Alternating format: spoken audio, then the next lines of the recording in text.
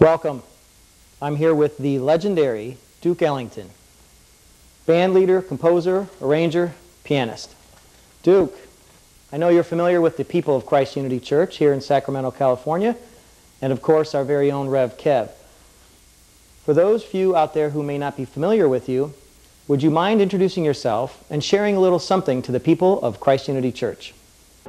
Good evening, ladies and gentlemen. I uh, am, or rather, my name is Duke Ellington. I have a band of musicians. All the kids in the band want you to know that we do love you madly. And now it's my pleasure to introduce my very, very good friend, Mr. Chet Schwalik. I know you have a special place in your heart for CUC. Is there any time or anything that makes you think of CUC? Anything? Hmm. Yes. I, uh, when I walk on stage, I know you have a special place in your heart for Rev Kev and that there's some history with your name. Uh, what would you say about him? a pretty fancy dresser and socially inclined, quite advanced for his age. And uh, I think he felt that if I just had to be his constant companion, I should have a title, because he was a pretty grand guy. So he called me Duke, and it just went along with me, and here it is today. Stuck along with me for a long time. Improvising in jazz can be described as blowing, such as, man, he was really blowing during his solo.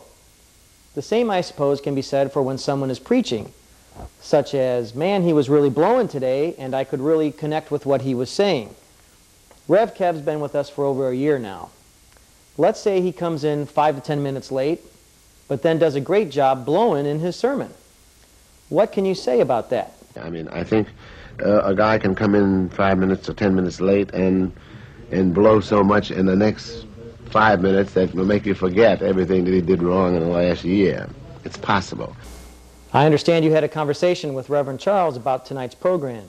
What can you share about that?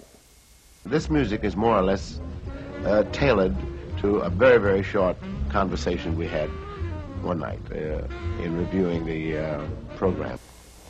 Now, Duke, everyone knows I wrote a lot of the music you take credit for. Do you remember all those late nights I spent at the piano showing you all those unique chords and special ways to arrange for all the parts in the band? Do you remember? I don't remember.